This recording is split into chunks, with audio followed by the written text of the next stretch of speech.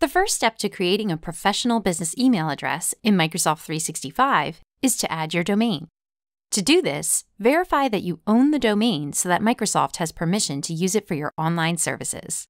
If your registrar doesn't support adding TXT records, you can verify by adding an MX record.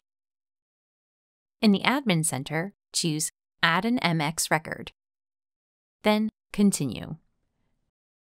Note the MX values provided.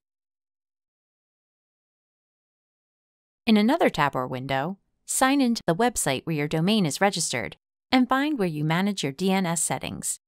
It may be called DNS Management, Control Panel, or similar. Add a new MX record using the values provided by Microsoft. For record type, use MX.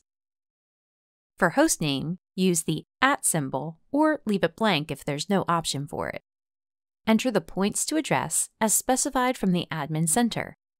Set the priority to a large value not already used. Otherwise, this can affect your email. And add a TTL value. Then save your changes. Return to the Admin Center and choose Verify. Verification can take up to 30 minutes. If you receive an error, check that you entered the MX record correctly. Once verified, we recommend deleting this record. You can now connect your domain to email and online services in Microsoft 365. If you need assistance, choose Help and Support.